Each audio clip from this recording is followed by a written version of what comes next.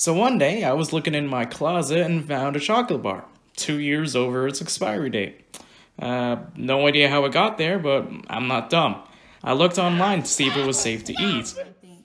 The upcoming footage is the result of my research.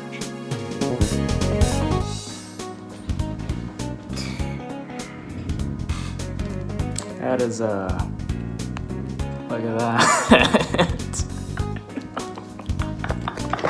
I don't want to do this. Uh,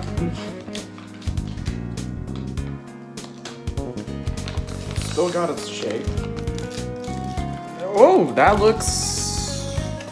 That looks fine. Honestly, yeah, look at that. Look at that. That looks fine.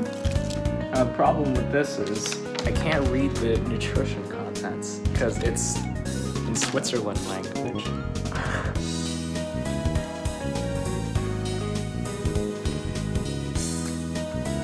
It. Uh-oh.